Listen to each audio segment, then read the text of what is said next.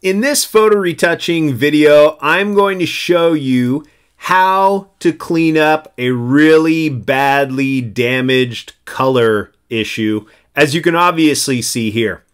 Now keep in mind, when the original photographer took this picture, this was not an orange sky like on a nuclear winter or whatever. This was a nice dark, dark blue car on a sunny day with lots of sunshine. We need to make sure this car looks like that again. So first thing I'm going to do is obviously rotate the image. This image is crooked as you can see along the bottom. So I'm going to click on my crop tool. Then I'm going to come up to the top and click the straighten icon right there. So now when I take my cursor, like a tape measure. I'm going to put it right on the bottom edge of the photo and drag. I'm going to drag a long line so I can measure the bottom angle of that photo. And when I let go of the mouse, Photoshop is going to rotate it the opposite angle to straighten it out. So now I have to pull the corners in just inside the edges of the photo like that. You don't want to have a little sliver of white space coming down the side. So I'm going to make sure I just go inside the edge there.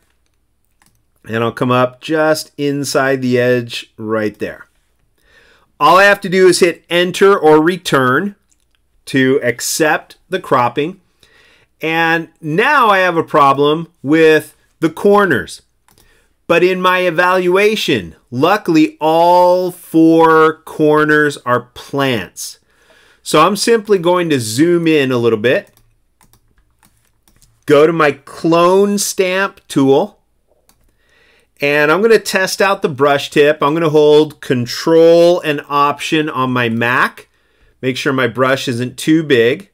So I'll hold control and option and drag to the left.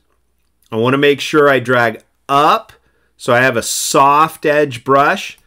On a PC that would be um, control alt and your right click on your mouse to resize your brush. I'm going to go right about there. Now on my Mac again, I'm going to hold Option on your PC. That would be your Alt key. That'll give me my target. Click on Clean Grass. Let go the Option or Alt key. Move your cursor to the damage and then paint. And I'm going to do that on all four corners. So I can hold my space bar and push this over. Option or Alt click on the clean grass. Then let go, come over and paint over the damage. I'll come up here, Option or Alt click. Then I'll come over and paint some of that damage right up there.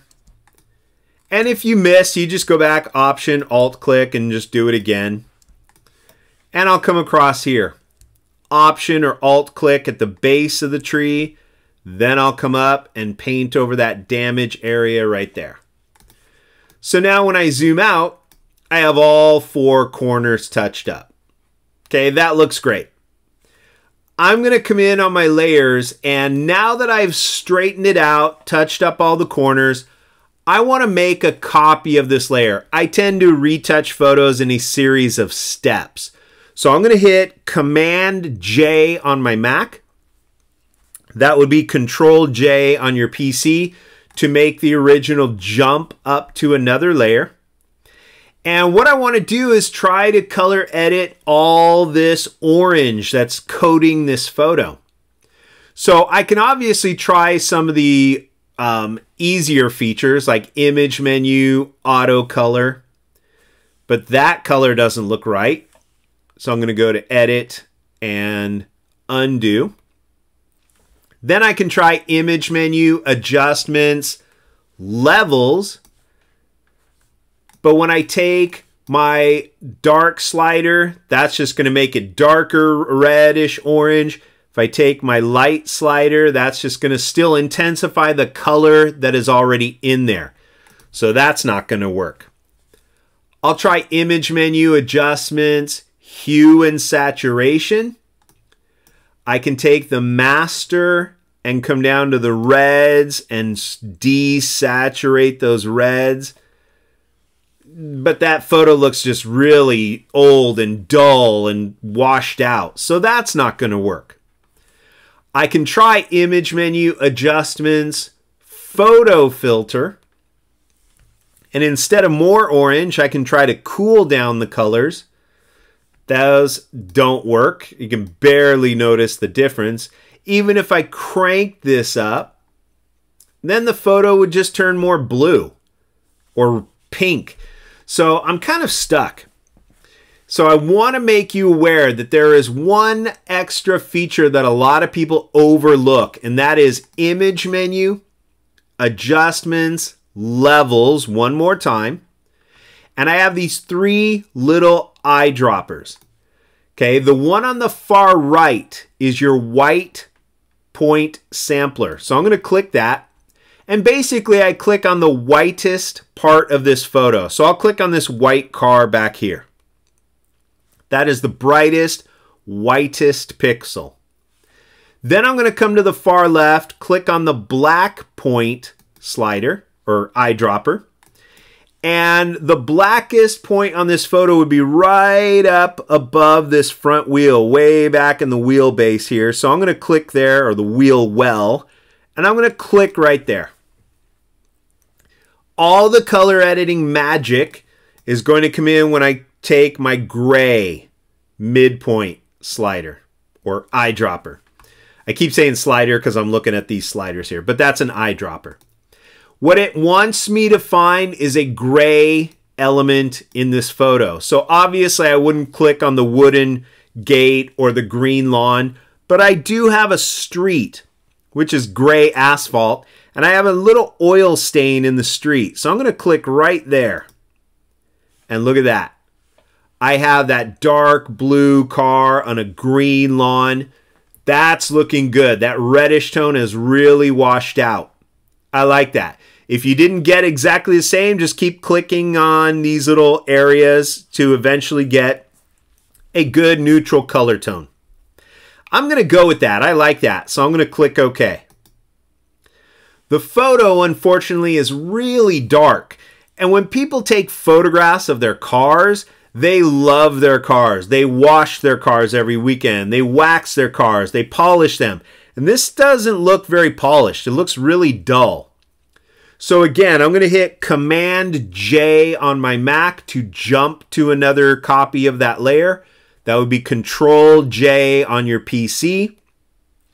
And now I'm just going to add some more sunlight to this by going to Image menu, Adjustments, Shadows, and Highlights. You'll see that scene light up right there.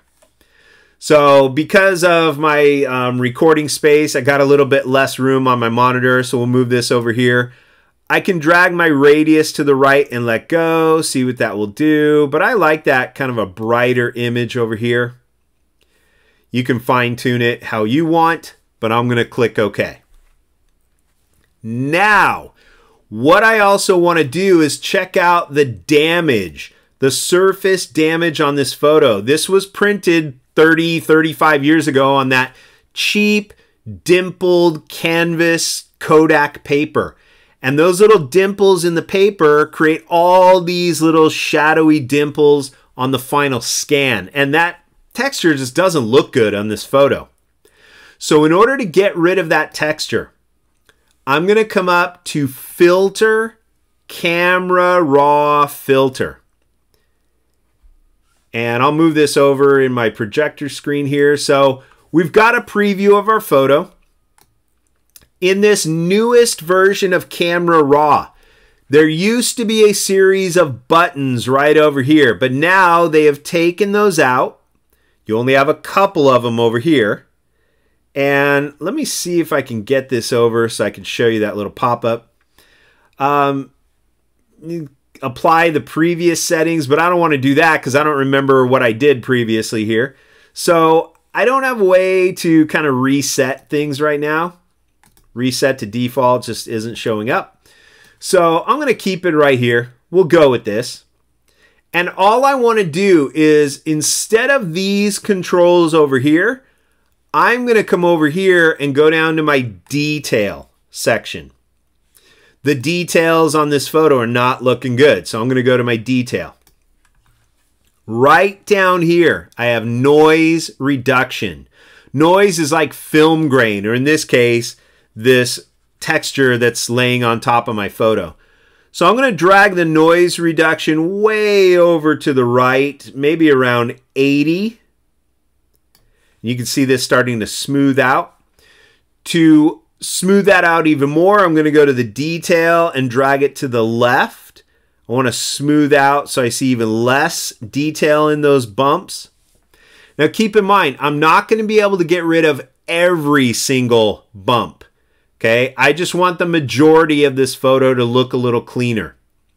So when I do that, I start to get these little green blobs of color here and there. So I'm going to go to the color noise reduction and drag that up. So I smooth out the colors here so I don't get blobs of green and things like that. I can lower the detail of some of those blobs. And this looks pretty good visually. Okay, got a lot smoother car. I'm not getting so much of that texture in there. There will be some, but I can get rid of the majority of it. And I'm going to go with that. I'm going to click OK.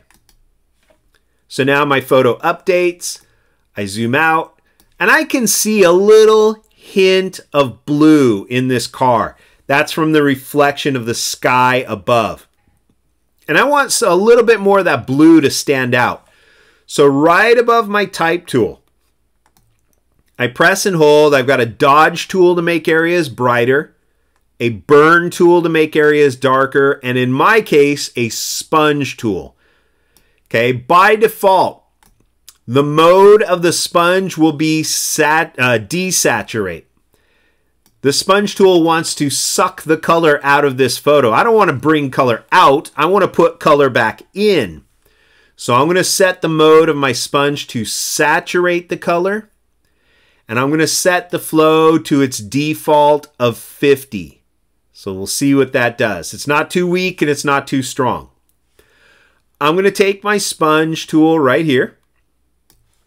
Hold my control and option key on a Mac that would be Control and Alt key on your PC, and you right click on your PC to make your brush bigger or smaller. I'll make it kind of big. And with one long continuous drag, I'm just going to click and drag and drag and drag and drag and drag right over those upper edges of the car like that. Okay, I can start to see a little bit more blue, and that's good. I see a little bit. I didn't go overboard. So I'm going to kind of polish this car again. I'll click and drag right here, and one continuous line. Just bring out a little more hint of blue in there. I can zoom in, and with my sponge tool as well, I can make the brush smaller, just kind of saturate a little bit more of that red and that blue on that license plate frame right there. Okay, if I wanted a little more reflective green, I could saturate that or saturate it in the wheels right there. You know, hit a few little choice little green spots on this car to bring out a little more of that reflective detail there. And the last thing I want to do is get rid of the stuff that the noise reduction filter couldn't get rid of.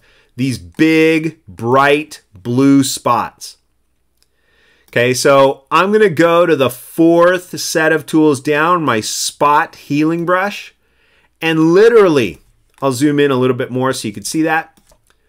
I'm going to spot out these blues, just kind of paint right over them. Click, click, click. If they're just a little blue dot, click on it, click on it, click on it. And you can get rid of those really quick. Click, click, click, click, click, click. And I'm just going to kind of scroll around and look for those little blues that really stand out and start clicking on them. So if I see any down in the grass, click and click. Here's a line, so I'm going to click and drag over that line click, click, click, click, click.